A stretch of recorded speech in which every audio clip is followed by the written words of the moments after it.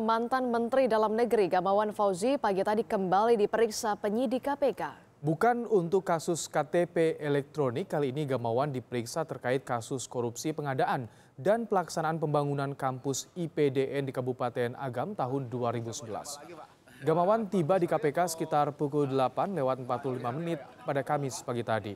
Biasanya Gamawan diperiksa terkait kasus korupsi proyek pengadaan KTP elektronik, namun kali ini Gamawan diperiksa terkait kasus dugaan korupsi pembangunan kampus IPDN Agam. Gamawan akan diperiksa sebagai saksi untuk tersangka Dudi Jocong, mantan Kepala Pusat Data dan Sistem Informasi Setjen Kemendagri yang berkaitan dengan kasus ini.